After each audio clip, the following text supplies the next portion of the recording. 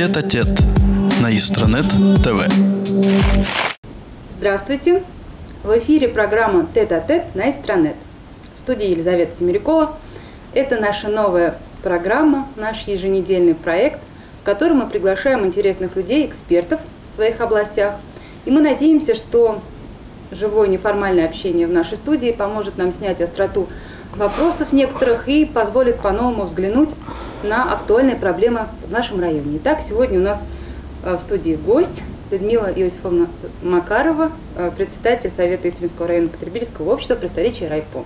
Людмила Иосифовна, добрый день, рада вас видеть у нас. А тема нашего сегодняшнего разговора – это ритейл и некоторые секреты его работы в нашем районе. Значит, что такое ритейл?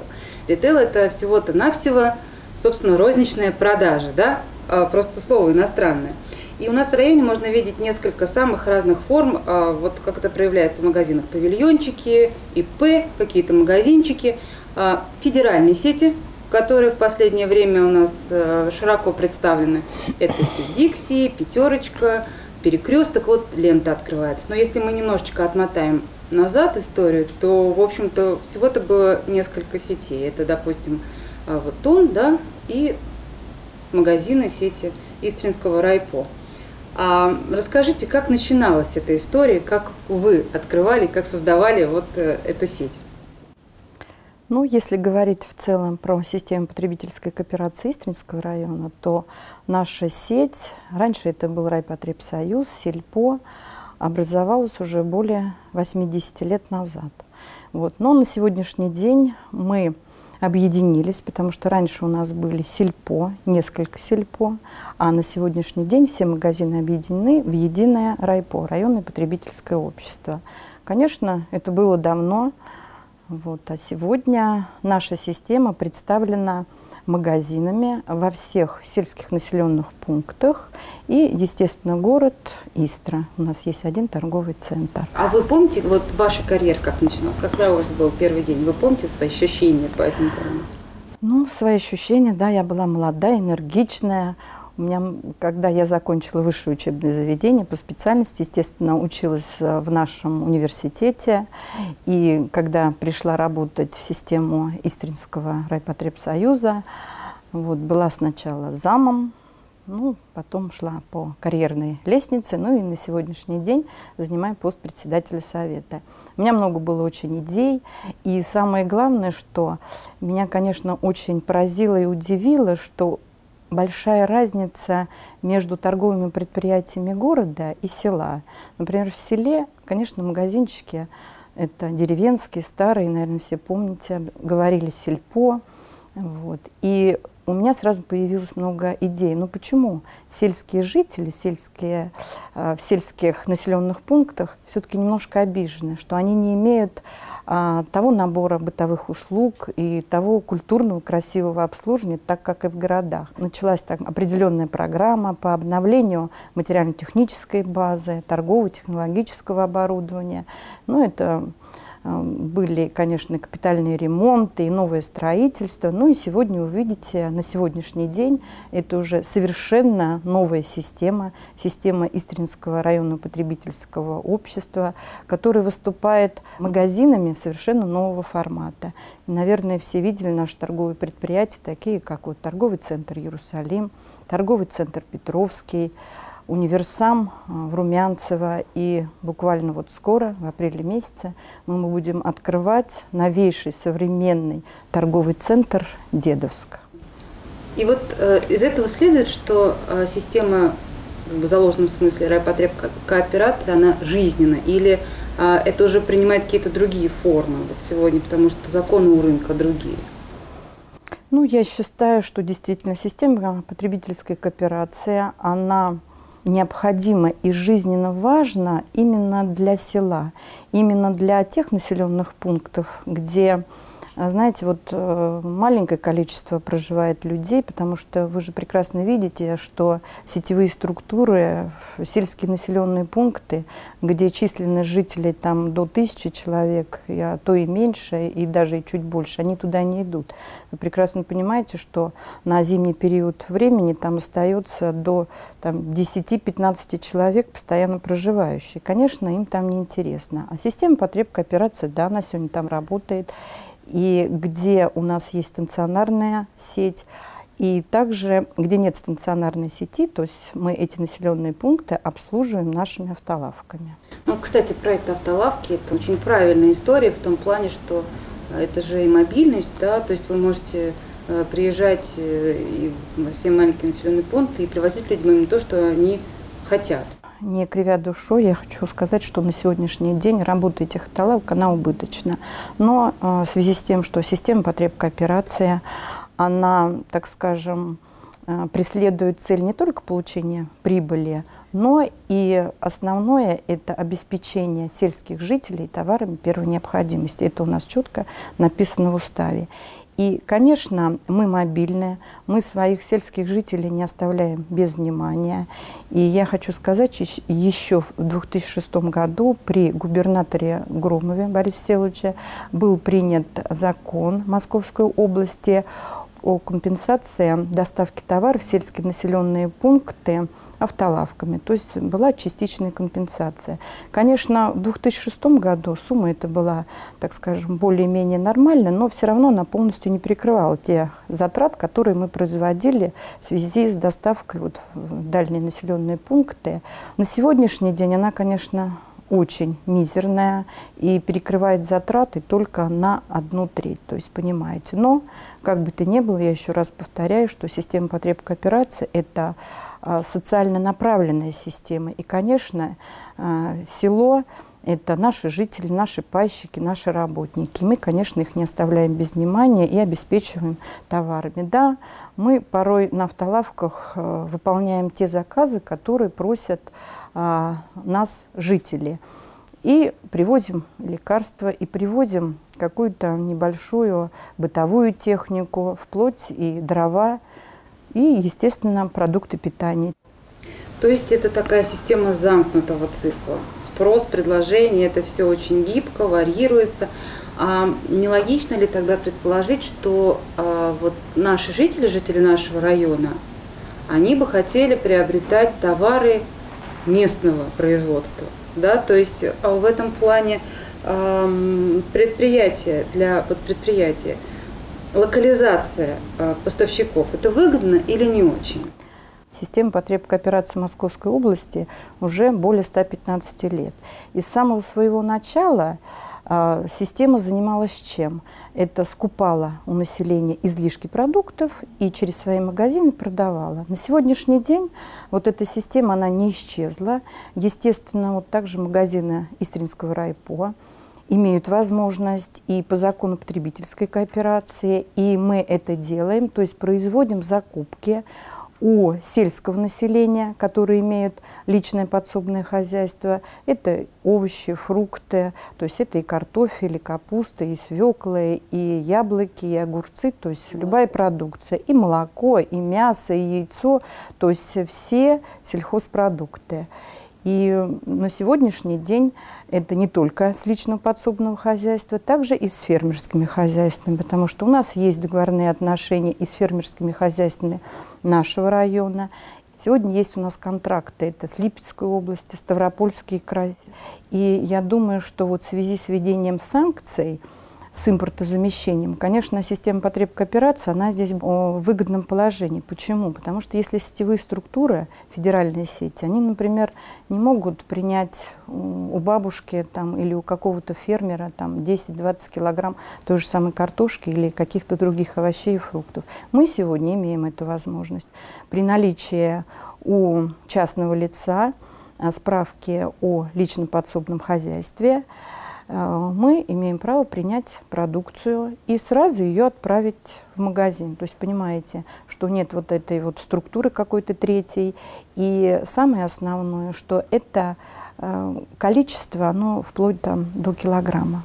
В обязательном порядке при продаже овощей, фруктов, сельхозпродукции должны быть ветеринарные свидетельства, должны сертификаты быть. Конечно, это все проверяется. А вот э, как эксперта хочу вас спросить, вот что называется по секрету, вот ваше мнение. А, вот фермеру что более интересно, как ему выгоднее а, самому торговать на фермерских ярмарках, вот сейчас их огромное количество, и они всячески приветствуются в Московской области, или именно сдавать э, свою продукцию вот райпо. На сегодняшний день правительство Московской области приняли хорошую нормальную программу, организовывая ярмарки выходного дня. Это, конечно, для фермерских хозяйств, для личных подсобных хозяйств это выгодно. Но это с одной стороны. Конечно, вы сами понимаете, что они организуются, ну, такие там палаточки, павильоны, а, что требует от э, наших местных властей, которые организуют эти ярмарки, конечно, дополнительные затраты, чтобы э, фермер или э, просто частное лицо не торговали там с ящиков или там с колен. Со стороны фермеров личных подсобных хозяйств здесь тоже есть вопрос. Для кого-то, да, он приехал, сам поторговал. Для кого-то эта система тоже не очень выгодна, потому что ему нужно стоять, тратить свое определенное время. А, например, ему а, легче и удобнее привести свою продукцию и сразу сдать куда. Например, система потреб кооперации, она готова. И для них, я считаю, что для отдельных это тоже очень выгодно и очень хорошо. Поэтому здесь трудно сказать, что лучше, или ярмарки выходного дня, или просто сдать. Я думаю, здесь индивидуальный подход. А вот для вас, как для предпринимателя, для руководителя огромного вот комплекса, да, ну, несмотря на то, что средний бизнес все-таки масштаб по сравнению с ярмаркой много больше. Вам это выгодно? Ну вот сейчас особенно, ну, в принципе, это всегда, да, в принципе, выгодно, потому что я считаю, что на сегодняшний день каждый покупатель уже задумывается о здоровом, правильном питании. И, естественно, фермерская продукция и продукция с личного подсобного хозяйства, конечно, она более качественная. Там нет э, всяких там примесей и всего остального. Да, она подороже, поэтому покупатель, приходя в магазин, он уже выбирает. Тет-а-тет на Истранет ТВ. В эфире программа «Тет-а-тет» на Истранет. Сегодня гость нашей студии Людмила Макарова, председатель э, Истринского райпо. И наш разговор сегодня о том, что касается буквально каждого о продуктовых магазинах. Людмила Иосифовна, а вот скажите, пожалуйста, есть ли какая-то квота на количество продуктовых магазинов, которое должно быть на количество жителей, которые проживают в, в, в каком-то городе, поселке? Ну, как такового, законом, конечно, эта квота не утверждается. И поэтому вы сами прекрасно понимаете, у нас свободная торговля, есть место, и, естественно, магазин строится, открывается, работает. Я знаю, что существует э, антимонопольное законодательство, которое препятствует э, распространению магазинов одной сети. И э, порог должен быть 25% одного значит, предприятия на территории поселения. Я чего-то не понимаю? Нет, все правильно. В законе о торговле четко написано, что на территории муниципального района, поселения, э, значит, сетевые структуры не должны превышать 25% от общих торговых точек. А Райпо у нас монополист? Нет, нет, нет, нет, не, не монополист. Нет. Сегодня монополисты, я думаю, что сетевые структуры, потому что вы, наверное, тоже видите везде сетевые структуры, Дикси, Атак, Пятерочки, Перекрестки представлены очень широко. А вот ваша ниша – это автолавка. Вы э, говорили, и я знаю по закупкам, что вы выходите на тендеры, то есть это такая, в общем-то, долгая история выхода с автолавками на рынок вот всего. Ну, здесь вот по поводу автолавок я могу немножко добавить. Вопрос, э, конечно, вот меня как руководитель, он очень беспокоит, потому что, да, мы выходим на тендер, мы тратим много времени на сбор документов, мы э, делаем какие-то там оплаты для того, чтобы, так скажем, участвовать в этом тендере. Ну, получается немножко такой парадокс. Мы законопослушные, платим налоги, Вот. В осенне-зимний период, вы сами знаете, автолавки, они вообще просто убыточные, потому что в селах, особенно в отдаленных, остается, как я уже говорила выше, там по 2-3 человека. Но автолавка все равно едет, и нам, например, там буханка хлеба, она обходится 2 литра бензина. То есть, понимаете, это очень дорого, это убытки. Но когда начинается сезон, это весенний-летний, то со всех, э, со всех властей, со всех губерний, со всех районов, как грачи, налетают наши уважаемые ну, бизнесмены, которые хаотично разъезжаются по всем деревням и, естественно, производят торговлю, не отвечая ни за что, не, не платят никакие налоги. То есть и, получается, сливки сняли и разбежались. Ни налоги в казну не заплатили нашего района. Вот. А мы зимой убытки и весна-лето особо тоже не можем перекрыть э, эти убытки. Конечно, вот немножко здесь э, как-то есть, я считаю, что какой-то определенный прогал или просто, может быть, немножко усилить контроль за вот развозной торговлей, за несанкционированной торговлей. В принципе, наверное, вот со стороны именно сельских э, наших поселений более такой жесткий должен быть контроль.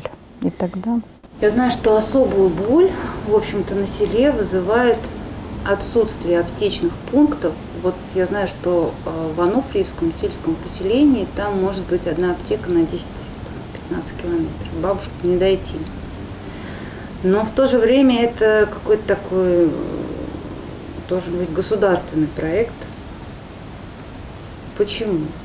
Может быть, вам проще с вашей сетью, с автолавками заняться аптеками? Ну, аптеки – это вот наше новое направление. Мы начали заниматься аптеками вот уже как будет в этом году три года. Это очень, так скажем, с одной стороны интересное направление, но с другой стороны все-таки это село, вы понимаете, что на селе аптека, она не может быть прибыльной потому что в село, как мы говорили, мало населения, мало жителей, а затраты для того, чтобы открыть аптеку или аптечный пункт, а, требуются очень серьезные. Почему? Почему? Потому что это лицензирование. Для того, чтобы а, получить лицензию, нужно пройти, конечно, очень такой серьезный путь, который связан не только с материальными затратами, но и, конечно, собрать очень много документов. Ну и пришла идея вот запустить такой проект «Аптечная сеть Истринского райпо». Конечно, я еще раз повторяю, именно на сегодняшний день мы открыли эти аптеки. Вот на сегодняшний день у нас уже 9 аптек. Две аптеки у нас в Клину, в Клинском районе, и 7 аптек на территории Истринского муниципального района. Вот. Но, хочу сказать, не очень прибыльно это дело.